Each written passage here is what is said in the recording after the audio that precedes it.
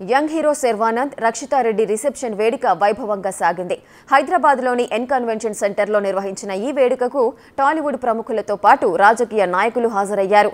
Ram Charan Kapoor victory Venkatesh hero Siddharth అలనాటి heroine మహేశ్వరితో పాటు senior తారలంతా నూతన వధూవరులను ఆశీర్వదించేందుకు క్యూ కట్టారు.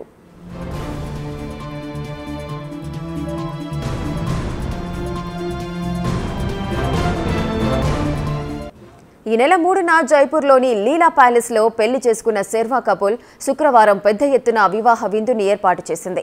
అతి కొద్ది మంది సన్నిహితులు కుటుంబ సభ్యుల మధ్య వివాహాన్ని నిర్వహించగా రిసెప్షన్ను మాత్రం గ్రాండ్గా జరిపారు. ఇటు ఈ వేడుకకు తెలంగాణ మంత్రి కేటీఆర్ ఎంపీ జోగినపల్లి సంతోష్ కుమార్ హాజరై శర్వానంద్ రక్షితారెడ్డిల జంటను ఆశీర్వదించారు.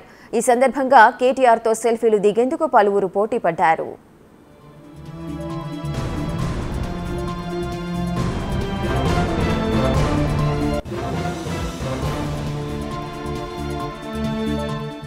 మరోవైపు శర్వానంద్ రక్షితారెడ్డి రిసెప్షన్ కార్యక్రమానికి సంబంధించిన ఫోటోలు ట్విట్టర్లో పోస్ట్ చేశారు. దీంతో ఇవి కాస్త వైరల్ అవుతున్నాయి. పలువురు సినీ ప్రముఖులు శర్వానంద్ అభిమానులు సోషల్ మీడియా ద్వారా విషెస్ చెబుతున్నారు.